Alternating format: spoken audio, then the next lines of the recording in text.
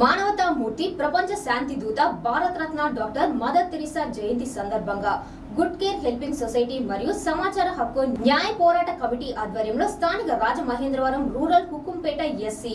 దళితపేటలో mother Teresa విగ్రహానికి పూలమాలలు వేసి ఘనంగా నివాళులు అర్పించారు. అనంతరం వృద్ధులకు దుప్పట్లు చిన్నారులకు బిస్కెట్లు ఫ్రూట్లు పంపిణీ చేశారు.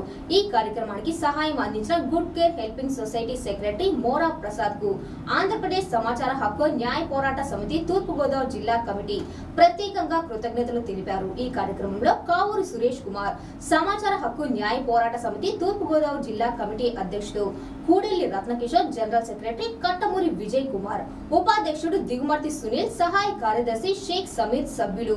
గుత్తల సునీల్ కొల్లాప్ సుధా ఎంఆర్పీఎస్ మండల రూరల్ ప్రెసిడెంట్ మాండ్రు వెంకన్న తదితరులు పాల్గొన్నారు.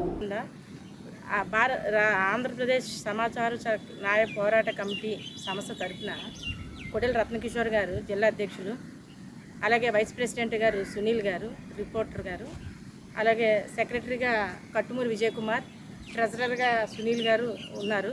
అలాగే ముఖ్యంగా మహిళా వింగ్కి స్టేట్ కమిటీలో సమీరా గారు సుధారాణి సుధారాణి గారిని కూడా తీసుకోవటం జరిగింది.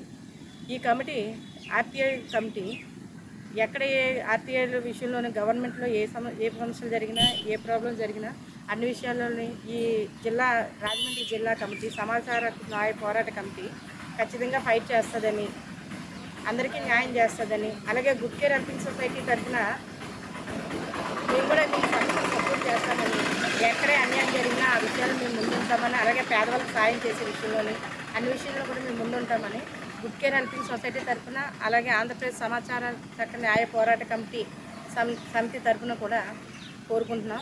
ఇక్కడ ఈ ప్రోగ్రాం చేయడానికి ముఖ్యంగా సహకరించిన సునీల్కి కూడా స- క్షమించాలి సురేష్ కూడా మా good care helping society Andhra Pradesh న్యాయ పోరాట సమితి తరఫున కూడా కృతజ్ఞతలు తెలియజేస్తున్నాం. థ్యాంక్